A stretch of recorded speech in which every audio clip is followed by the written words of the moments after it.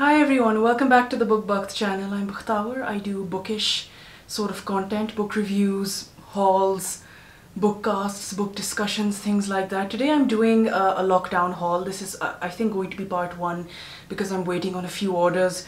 Um, these are the these are the books that I got from Readings, which is a very famous bookstore in Lahore.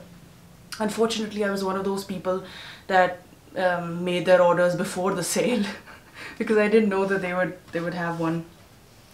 So yeah, th these are the books that I picked up. Um, obviously, I have bought um, quite a few more um, since this lockdown started, so I'm going to be doing be filming hauls on that as well.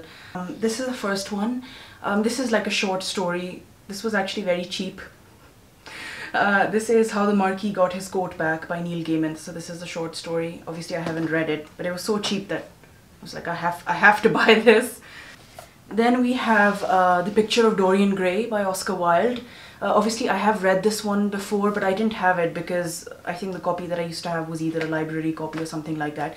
So I wanted to pick it up because I'm, I might review it, that's why. This is a really, really beautiful sort of, how do you put it? this is an entire thesis, if you will, on, you know, the values that people have. Do you attach value to wealth? Do you attach it to beauty? Do you attach it to immortality? This person attaches it to all three and thinks that the evil that he does goes unnoticed, except that it doesn't and is recorded in, in this magical, fantastical painting, which records all his sins and wrongdoings. And in the end, out of the painting, or is the painting itself, emerges a monster which you know, must then be destroyed. So this is actually, this deserves a whole video on itself. If you haven't read it, it's really short. It's about 217 pages. Definitely give it a read. This is the um, version that's published by Readings itself. So um, it's very, it's very cheap. Now I've been sort of on the search of older Pakistani authors, ones that maybe haven't necessarily been as mainstream. I wouldn't go as far as to say um, obscure, but maybe sort of people of my generation don't really know too much about them and uh, maybe they're really, they're considerably older now than more contemporary authors. So I've been sort of looking that up now. Unfortunately, I've actually not found a lot of books that were in the readings database for that or in any other bookstore.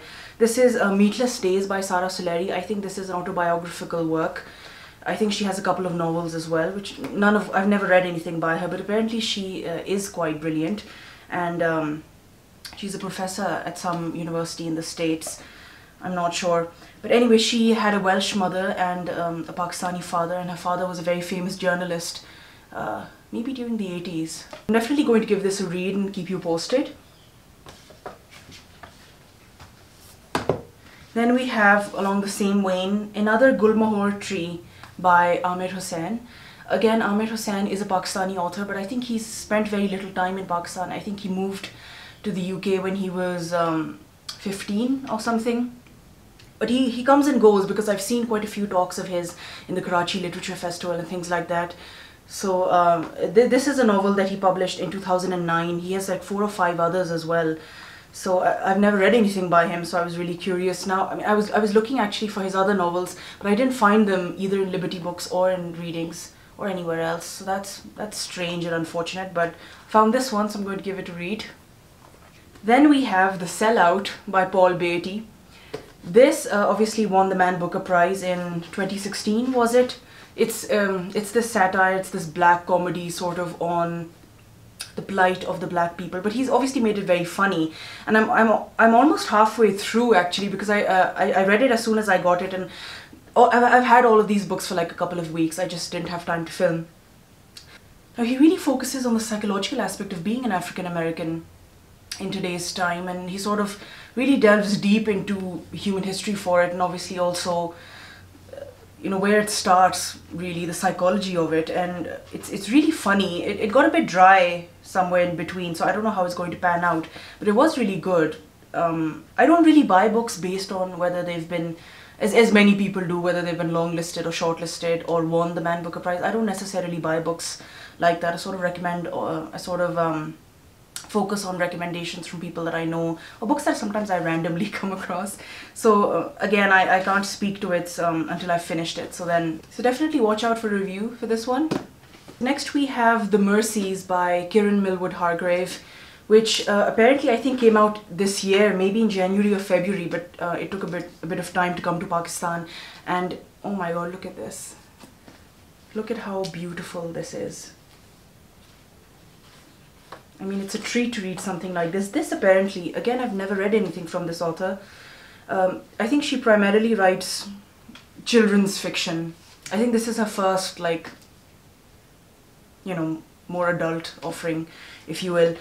And I think this, um, from what I've read, sort of the blurb and stuff like that, it's it's supposed to be the most epic feminist, uh, you know, drama of all time because it's based on a Norwegian island in which there's some sort of storm in which all the men die and now the island is just filled with women and they must survive and stake their claim and then I think they may be invaded or something. I'm not 100% sure. Again, I haven't read it so I can't be sure.